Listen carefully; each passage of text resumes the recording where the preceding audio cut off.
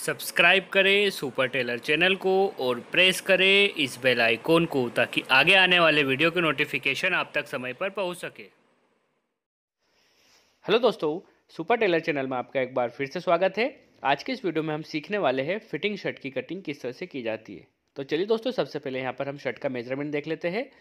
तो लेंथ का मेज़रमेंट है सत्ताईस इंच, शोल्डर का मेज़रमेंट अठारह इंच, स्लीव का मेज़रमेंट चौबीस इंच चेस्ट का मेज़रमेंट साढ़े छत्तीस इंच, टमी का मेज़रमेंट चौंतीस इंच और कॉलर का मेज़रमेंट पंद्रह इंच है। तो चलिए दोस्तों, इस मेज़रमेंट के शर्ट की कटिंग करने के लिए यहाँ पर हमने सवा दो मीटर कपड़ा लिया है, जिसकी मदद से हम आपको बहुत ही आसान तरीके से शर्ट की कटिंग करना सिखाने वाले हैं। तो आप हमारे वीडियो को अंत तक ज़रूर देखें, ताकि आपको कटिंग समझने में आसानी हो। तो सबसे पहले तो दोस्तों हम यहाँ पर कपड़े को उल्टा करेंगे। क्योंकि मार्किंग हमेशा उल्टे कपड़ों पे की जाती है। और यहाँ पर हम कपड़े को डबल करते हुए जमाएँगे। उल्टा भी करेंगे और डबल करते हुए जमाएँगे ताकि हम यहाँ पर दोनों फ्रंट की कटिंग साथ में कर सकें। तो आई थिंक दोस्तों आपको समझ में आया होगा कि हम यहाँ पर कपड़े को उल्टा और डबल क्यों कर रहे हैं। तो देखिए यहाँ पर आपको उल्टा साइड दिख रही होगी और कपड़ा भी हमने इसी तरीके से लिया है ताकि आपको सीधा और उल्टे का फ़र्क करना आसानी से समझ में आ जाए। तो देखिए दोस्तों यहाँ पर हमने कपड़े को डबल करते हुए और उल्टा करते हुए जमा लिया है। अब यहाँ से हम फ्रंट की कटिंग करने वाले हैं तो चलिए दोस्तों फ्रंट की कटिंग करने से पहले आप कपड़े को प्रॉपर तरीके से जमा लें, उसके बाद ही आप फ्रंट की कटिंग करें। तो देखिए, हमने कपड़े को बिल्कुल सही तरीके से जमा लिया अब हम इसकी मार्किंग कर लेते हैं। तो दोस्तों फ्रंट की मार्किंग किस तरह से की जाएगी, चलिए हम समझ लेते हैं। तो सबसे पहले तो आप सीधे स्केल की मदद से एक मार्किंग ऊपर कर दीजिए इस तरह से, ताकि जो भी आपको रेशेदार कपड़ा दिख रहा है, वो कटिंग होने के बाद हट सके। इसके बाद दोस्तों, हम प्लेट के लिए मार्किंग करते हैं बटन प्लेट और काज प्लेट के लिए। तो यहाँ पर देखिए, हम प्लेट के लिए ढाई इंच पे मार्किंग कर रहे हैं। और दोस्तों, आपको हम बता दें कि जिस फ्रंट पे हम मार्किंग करते हैं, वो हमारा काज प्लेट वाला फ्रंट रहता है और नीचे वाला जो फ्रंट है, वो बटन प्लेट वाला फ्रंट रहेगा। तो ये देखिए दोस्तों, यहाँ पर हमने इस तरह से प्लेट के लिए ढाई इंच मार्जिन लेते हुए मार्किंग कर ली है और इसे सीधे स्केल की मदद से मिला लेंगे।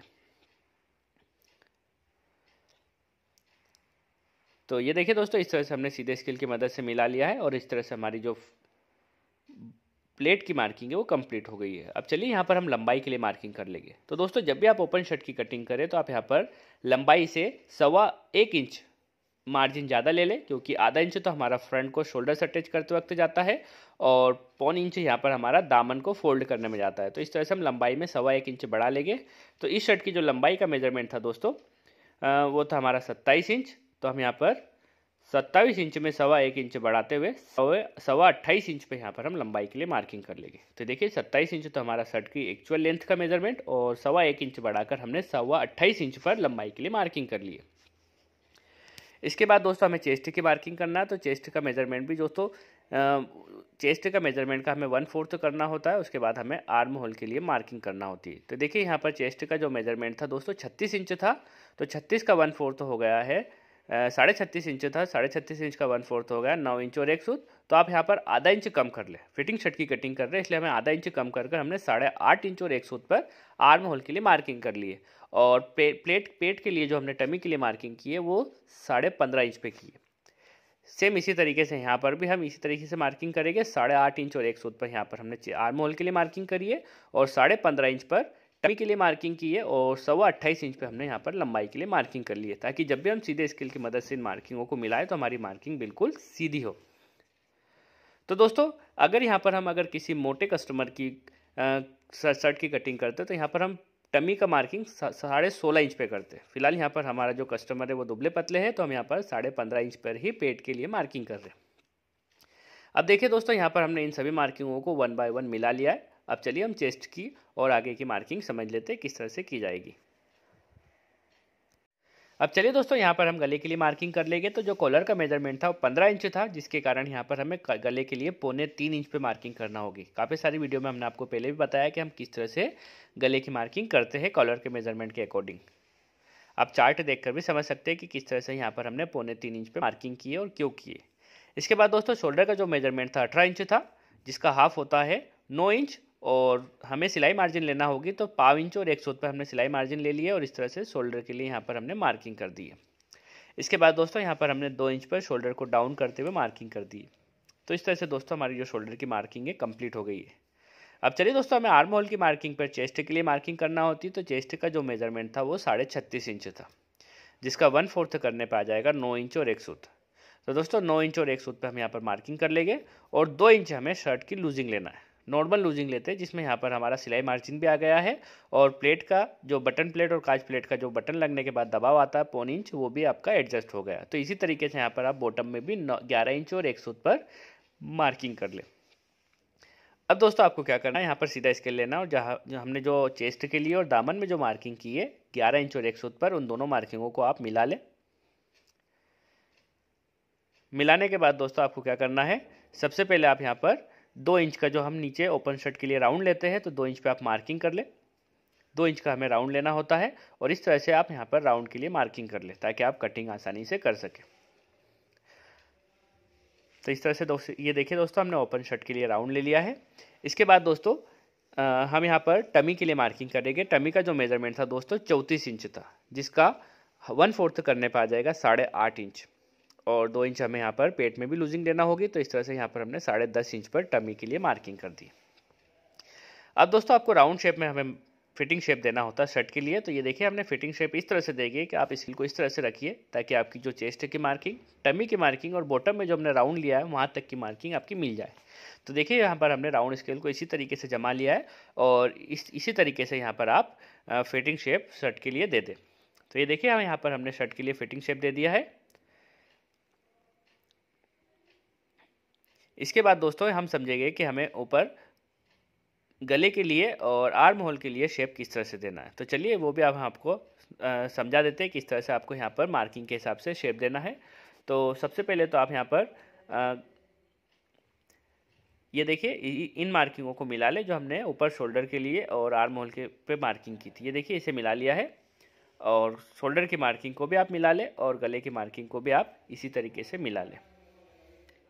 इसके बाद दोस्तों हमें गले के लिए गोल शेप में मार्किंग करना होती है ताकि हम कटिंग आसानी से कर सके और आर्म होल में भी हमें एक्स्ट्रा शेप लेते हुए मार्किंग करना होती। है तो सबसे पहले तो हम यहाँ पर गले में गोलाई में, ये देखिए इस तरह से आप गोलाई में मार्किंग कर ले ताकि हम कटिंग आसानी से कर सकें। अब दोस्तों जिस तरह से यहाँ पर हमने शर्ट में दो इंच की लूजिंग ली है और जो दो इंच अंदर आपको मार्किंग दिख रही है तो अब हम यहाँ पर एक ढाई इंच अंदर एक मार्किंग करेंगे। ये देखिए ढाई इंच अंदर हम एक मार्किंग कर लिए और अब ऊपर जो शोल्डर वाली मार्किंग थी, उससे हम इसे मिला लेंगे। और इसी मार्किंग से होते हुए हम आर्म होल में शेप देंगे। तो देखिए दोस्तों, इस तरह से हमें आर्म होल में शेप देना है। तो इस तरह से दोस्तों, यहाँ पर हमारी फ्रंट की मार्किंग कंप्लीट हो गई है। तो चलिए दोस्तों, यहाँ पर हमने जिस तरह से फ्रंट की मार्किंग की है सेम मार्किंग के अकॉर्डिंग हम फ्रंट की कटिंग कर लेंगे। तो दोस्तों, अगर आप हमारे यूट्यूब चैनल पर नए हो या आपने अब तक हमारे चैनल को सब्सक्राइब ना किया हो तो प्लीज़ आप हमारे चैनल को सब्सक्राइब करें और पास में जो बेल आइकन है उसे प्रेस करें ताकि आगे आने वाले सभी लेटेस्ट वीडियो के नोटिफिकेशन आप तक समय पर पहुँच सके। तो दोस्तों, अब तक हमने समझा है कि किस तरह से फ्रंट की मार्किंग और कटिंग की जाती है। इसके बाद हम समझने वाले हैं कि बैक की और अस्तिन की कटिंग किस तरह से की जाएगी। तो आप हमारे वीडियो पर कंटिन्यू वॉच करें ताकि आपको कटिंग समझने में आसानी हो। तो इस तरह से फ्रंट की कटिंग कंप्लीट हो गई है। तो चलिए दोस्तों फ्रंट की कटिंग होने के बाद हम समझ लेते हैं कि बैक की कटिंग यहाँ पर हम किस तरह से करने वाले हैं। तो दोस्तों, आपको याद होगा, जो हमने फ्रंट की चौड़ाई रखी थी, वो सवा ग्यारह इंच रखी थी। मीन्स ग्यारह इंच और एक सूत्र रखी थी। तो यहाँ पर हमें बैक की कटिंग करने के लिए करीब साढ़े दस इंच कपड़ा होना ज़रूरी है। तो देखिए, यहाँ पर हमारे पास कपड़ा अवेलेबल है। तो हम यहाँ से हम बैक की कटिंग कर सकेंगे। अगर कपड़ा अवेलेबल नहीं होता तो हम यहाँ पर अस्तिन की कटिंग करते फ़िलहाल यहाँ पर कपड़ा अवेलेबल है तो यहाँ पर हम बैक की कटिंग करने वाले तो दोस्तों, जो हमने फ्रंट की कटिंग करते हुए रखी है, सबसे पहले यहाँ पर हम आपको बता दें कि हम बैक के साथ ही शोल्डर की कटिंग करने वाले तो दोस्तों, जब भी आप बैक के साथ शोल्डर की कटिंग करें तो आपको याद होगा, हमने पौने तीन इंच गले की कटिंग करी थी फ्रंट में तो यहाँ पर हम पाव इंच बढ़ाकर तीन इंच पे गले की कटिंग करने वाले हैं। और इसे यहाँ पर हम गले को डेढ़ इंच डाउन करेंगे। और तीन इंच नीचे हम फ्रंट को जमाने वाले इसलिए हमने यहाँ पर तीन इंच पर मार्किंग कर ली अब इसके बाद जो हमने मार्किंग वाला फ्रंट लेना है और तीन इंच नीचे से, तीन इंच नीचे से आपको बैक के कपड़े पर फ्रंट को जमा लेना है। तो दोस्तों, नीचे से तो हमने तीन इंच पर जमाया है और साइड से आप पौन इंच बाहर करते हुए, जो हम बैक की चौड़ाई रखेंगे, वो फ्रंट से पौन इंच कम रखेंगे। तो हम आपको मेजर करके बताएँगे कि हम पौन इंच फ्रंट को किस तरह से बाहर कर रहे हैं। तो ऊपर से तो हमने तीन इंच डाउन करते हुए फ्रंट को जमा लिया और ये देखिए हमने पौन इंच फ्रंट को बाहर रखा बैक से। इस तरह से जो बैग की चौड़ाई है वो फ्रंट से पौन इंच कम हो जाएगी और आपकी जो फिटिंग होगी शर्ट की वो बिल्कुल ही परफेक्ट तरीके से आपको आएगी और आपको किसी भी प्रकार की कोई प्रॉब्लम फिटिंग से रिलेटेड नहीं आएगी। तो देखिए यहाँ पर इस तरह से आप सबसे पहले बैग के कपड़े में फ्रंट को जमा लें और आर्म होल में आप डेढ़ इंच अंदर एक मार्किंग करें। इसके बाद दोस्तों शोल्डर के लिए आप मार्किंग कर ले तो अठारह इंच शोल्डर का मेज़रमेंट था। नौ इंच हाफ़ हो गया और सवा, पाव इंच और एक सूत यहाँ पर हमने शोल्डर के लिए मार्जिन लेते हुए मार्किंग के लिए। इस, इसके बाद दोस्तों आप इन दोनों मार्किंगों को मिला लें। इन दोनों मार्किंगों को मिलाने के बाद यहाँ पर आप बेग के आर्म होल में शेप देते हुए मार्किंग कर लें। तो ये देखिए यहाँ पर हम बेग के आर्म होल में शेप देते हुए मार्किंग कर रहे हैं। इसके बाद दोस्तों हमें ऊपर भी बेग में जो शोल्डर की कटिंग की है, उससे भी आप यहाँ पर ऊपर से, शोल्डर के पास से तीन इंच ऊपर हमने बेग को तीन इंच नीचे डाउन करते हुए रखा है फ्रंट को तो इसी तरीके से आप ऊपर भी तीन इंच पे मार्किंग करते हुए शोल्डर के लिए मार्किंग कर ले। इसके बाद दोस्तों, गले में आप शेप देते हुए मार्किंग कर ले ताकि हमें कटिंग करने में किसी प्रकार की कोई प्रॉब्लम ना आए। तो देखिए, यहाँ पर हमने बेग में गले के लिए मार्किंग कर लिए। अब दोस्तों, यहाँ पर आप फ्रंट की शोल्डर की चौड़ाई देख लें। यहाँ पर कितनी आ रही है? बिल्कुल एग्जैक्ट ये देखिए, सात इंच आ रही है। तो इसी के अकॉर्डिंग यहाँ पर भी हम देख लेंगे। ये देखिए, हमारे सात इंच आ रही है। तो हमें स्टिचिंग करते वक्त किसी प्रकार की कोई प्रॉब्लम नहीं आएगी और आसानी से बैक के शोल्डर को और फ्रंट के शोल्डर को आसानी से अटैच कर पाएँगे। नीचे से हम बैग की लंबाई को आधा इंच कम कर देते हैं तो सबसे पहले हम मार्किंग कर ले। कटिंग करते वक्त हम इसकी लंबाई को कम कर देंगे। तो चलिए दोस्तों, हम आपको कटिंग करके बता देते हैं किस तरह से हमें कटिंग करना है।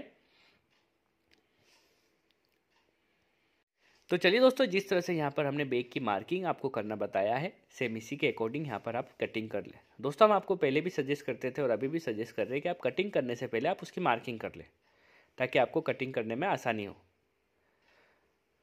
तो हमने आपको फ्रंट का इस्तेमाल करते हुए बैग की कटिंग करना बताया और बहुत ही आसान तरीका है ये बैग के साथ शोल्डर की कटिंग करने का। और हमने आपको अभी बताया था कि हम बैग की जो लंबाई है वो फ्रंट से आधा इंच कम कर लेते हैं, नीचे से। तो हमने मार्किंग कर ली थी मार्किंग से हम आधा इंच ऊपर करते हुए कटिंग कर लेंगे। और लास्ट में तो आपको मार्किंग से मिला लेना, ये देखिए इस तरह से। तो हमारी जो बैग की लंबाई है, वो फ्रंट से आधा इंच कम हो गई है, ताकि आपकी जो बैग पीछे से बिल्कुल अच्छी दिखे। तो चलिए दोस्तों, यहाँ पर हम अस्तिन की कटिंग किस तरह से करेंगे, आपको समझा देते हैं। तो हम यहाँ पर दोनों अस्तिनों की कटिंग साथ में करने वाले हैं। तो इसलिए हमने यहाँ पर कपड़े को डबल करते हुए जमा लिया और अस्तिनों की कटिंग करने के लिए हम कपड़े को किस तरह से फोल्ड करते हैं, चलिए दोस्तों, पहले हम आपको यह समझा देते हैं।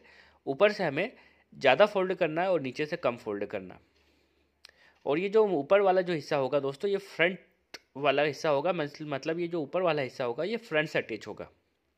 जो मार्किंग वाला आपका हिस्सा होगा, वो फ्रंट से अटैच होगा। आगे आपको समझ में आएगा। फ़िलहाल चलिए हम आपको बता दें कि हम ऊपर कितना फोल्ड करते हैं। तो आर्म होल की मार्किंग पे डिपेंड करता है। दोस्तों, हमने आर्म होल की जो मार्किंग की थी, वो साढ़े आठ इंच और एक सूत पे की थी। तो यहाँ पर भी हम साढ़े आठ इंच और एक सूत मेजर करेंगे और मार्किंग कर लेंगे। क्योंकि हमने आर्म होल की मार्किंग भी साढ़े आठ इंच और एक सूत पे की थी। इसके बाद दोस्तों, हमें तीन इंच डाउन करते हुए यहाँ पर मार्किंग करना होगी। हम यहाँ पर तीन इंच का शेप लेते हुए कटिंग करेंगे। यहाँ से आप दो इंच पे मार्किंग कर ले। अब क्या करना दोस्तों, यहाँ पर आपको स्टिन की लंबाई के लिए मार्किंग करना है। तो आधा इंच तो आप यहाँ पर सबसे पहले सिलाई मार मार्जिन के लिए हटा दें। उसके बाद आप लंबाई के लिए मेज़र करें। तो दोस्तों, जो लंबाई का मेज़रमेंट था वो चौबीस इंच था। अब चौबीस इंच आपके अस्तीने ज़्यादा है तो हम यहाँ पर तीन इंच चौड़ाई का कप लगाएँगे, जिसके लिए आपको यहाँ पर सवा दो इंच कम करते हुए मार्किंग करना है। तो ये देखिए हमने चौबीस इंच में से सवा दो इंच कम करते हुए पौने बाईस इंच पे लंबाई के लिए मार्किंग कर लिए, और यहाँ पर हम पौने छः इंच पर, नीचे से जो हमने फिटिंग देना है अस्तिन की, वो पौने छः इंच पर हम मार्किंग करेंगे। अब दोस्तों इन मार्किंगों को हम मिला नीचे से ये देखिए आप इस तरह से मार्किंग को कर ले और जो हमने ऊपर साढ़े आठ इंच और एक सूत पे मार्किंग की थी, उसे और नीचे जो पौने छः इंच पे मार्किंग की थी, उसे आप मिलाते हुए इस तरह से मार्किंग करें। इसके बाद दोस्तों जो हमने तीन इंच डाउन में मार्किंग की है और दो इंच ऊपर से मार्किंग की है उसे भी मिलाएँगे फ़िलहाल यहाँ पर अगर आपका कस्टमर अस्तिन की फिटिंग जाता है तो यहाँ पर आप हल्का सा फिटिंग शेप भी दे सकते हैं। थोड़ा ज़्यादा चाहे तो आप ज़्यादा दे सकते हैं। फ़िलहाल यहाँ पर हम इतना फिटिंग शेप ले रहे हैं। अब दो इंच के बाद से आप यहाँ पर अस्तिन में राउंड देना स्टार्ट करें। ये देखिए, दो इंच के बाद से हमने अस्तिन में राउंड दिया और तीन इंच जो नीचे हमने मार्किंग की थी, उसे मिला लें आप। तो इसी तरीके से आपको अस्तिन की कटिंग करते हुए शेप देना है। इसके बाद आप इसी मार्किंग के अकॉर्डिंग अस्तिन की कटिंग कर लें। दोस्तों, हमने आपको पहले बताया कि जो है ये मार्किंग वाला हिस्सा दिख रहा है, आपका ऊपर वाला हिस्सा दिख रहा है अस्तिन का, ये फ्रंट से अटैच होगा और बैक में हम अस्तिन पट्टी के लिए कट देते तो आपको हम बताए कि हम बैक में अस्तिन पट्टी के लिए किस तरह से कट देते तो आप हमारे वीडियो को कंटिन्यू वॉच करें। तो देखिए, इस तरह से दोस्तों यहाँ पर हमने अस्तिन की कटिंग कर ली है। अब हमें अस्तिन पट्टी के लिए और फ्रंट में अटैच करने के लिए हल्का सा यहाँ पर और कटिंग करना होगी राउंड में। तो सबसे पहले दोस्तों आप अस्तिन में सेंटर के लिए कट लगा लें। इसके बाद इसे डबल फोल्ड करते हुए नाखून की मदद से मार्किंग करें। इस मार्किंग से आधा इंच हम बाहर करते हुए अस्तिन पट्टी के लिए कट लगाएँगे।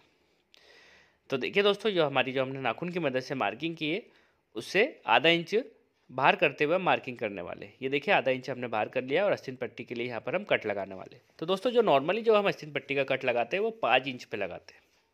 तो देखिए, यहाँ पर हमने पाँच इंच मेजर कर लिया है और अस्तिन पट्टी के लिए यहाँ पर हमने कट लगा लिया है। आप देख सकते हैं, जो हमने मार्किंग वाला फ्रंट था, वो आप हमारी आगे वाली साइड है और पीछे हमने अस्तिन पट्टी के लिए कर दिया तो आप समझ सकते कि हमारी जो अस्थिन पट्टी बनाई जाती है, वो बेक में बनाई जाती है। अब हमें फ्रंट से अटैच करने के लिए अस्तिन में हल्का सा और राउंड लेना है। तो हम आपको पहले मार्किंग करते करके बता देते हैं कि हमें कितना राउंड लेना है। और अब अगर आप भी न्यू लर्नर है तो आप सबसे पहले मार्किंग करें, उसके बाद ही आप कटिंग करें। तो देखिए दोस्तों, हमें इस तरह से यहाँ पर एक्स्ट्रा कटिंग करना होती है क्योंकि हमारा ये जो हिस्सा है अस्तिन का, ये फ्रंट से अटैच होगा। और फ्रंट में हमने आर्म होल ज़्यादा कटिंग किया, इसलिए यहाँ पर हमें अस्तिन में भी ज़्यादा कटिंग करके शेप देना होता। तो इस तरह से दोस्तों, आप देख सकते हैं, हमने किस तरह से फ्रंट से अटैच करने के लिए अस्तिन में शेप दिया है। और दोस्तों, खास बात यह है कि आप यहाँ पर अस्तिन को डायरेक्टली अटैच कर पाएँगे। आपको किसी प्रकार की एक्स्ट्रा कटिंग करने की ज़रूरत नहीं होगी, ना फ्रंट में, ना अस्तिन में। आप डायरेक्टली स्टिचिंग करते वक्त अस्तिन को अटैच कर पाएँगे। तो चलिए दोस्तों, यहाँ पर इस तरह से हमारे अस्तिन की कटिंग कंप्लीट हुई है। तो चलिए दोस्तों, यहाँ पर हम शोल्डर की कटिंग करने के लिए कपड़े को इस तरह से फोल्ड कर लेंगे। जो शोल्डर का जो हमारा मेज़रमेंट था, वो अठारह इंच था, जिसका हाफ़ करने पर आ जाएगा नौ इंच। और एक इंच आप बढ़ाकर यहाँ पर कपड़े को फोल्ड करते हुए जमा लें। अब दोस्तों, यह जो हमारे कपड़े में कोर आ रही है तो कोर की कटिंग कर लेंगे हम। तो कोर की कटिंग करने के लिए यहाँ पर आप मार्किंग कर लें। ये देखिए, इस तरह से आप कोर की कटिंग हो जाएगी और हमें छः इंच चौड़ाई का शोल्डर काटना है। तो आप छः इंच चौड़ाई पर मार्किंग कर लें। ये देखिए छः इंच पे हमने मार्किंग कर ली है। इतनी चौड़ाई का हमें शोल्डर कटिंग करना है। तो बेक में हमने ऑलरेडी एक शोल्डर की कटिंग करते हुए रखी है, जिसकी मदद से हम आपको दूसरे शोल्डर की कटिंग करना भी बता देते तो ये देखिए, इस तरह से आप यहाँ पर बेक को जमा लें शोल्डर के कपड़े पर और आप प्रॉपर तरीके से आप बैग को जमाएँ। अगर आप सही तरीके से जमाएँगे तो आपकी जो शोल्डर की कटिंग है, वो भी सही तरीके से होगी और आप आसानी से बेक में शोल्डर को पेस्ट कर पाएँगे। तो ये देखिए दोस्तों, इस तरह से यहाँ पर हमने बेक में बेक के हिसाब से यहाँ पर जमा लिया है और इसी के हिसाब से हम यहाँ पर दूसरे शोल्डर की भी कटिंग कर लेंगे। दोस्तों, अगर आपको हमारा ये वीडियो पसंद आया हो तो आप हमारे वीडियो को लाइक करें शेयर करें और कमेंट करना ना भूलें। दोस्तों अगर अब तक हमने आपने हमारे चैनल को सब्सक्राइब ना किया हो तो प्लीज़ आप सब्सक्राइब करें। और अगर आपको कटिंग समझने में किसी प्रकार की कोई प्रॉब्लम आई हो तो आप हमें कमेंट करें। डेफिनेटली हम आपकी प्रॉब्लम को दूर करेंगे। दोस्तों अगर आप हमारे किसी टॉपिक पर आप वीडियो बनवाना चाहते हैं तो आप हमें टॉपिक बताएँ। हम आपकी रिक्वायरमेंट के हिसाब से भी वीडियो बनाएँगे। तो आज की वीडियो में हमने समझा है कि किस तरह से फिटिंग शर्ट की कटिंग की जाती है। तो चलिए दोस्तों आ, आज की इस वीडियो में इतना ही। Thanks for watching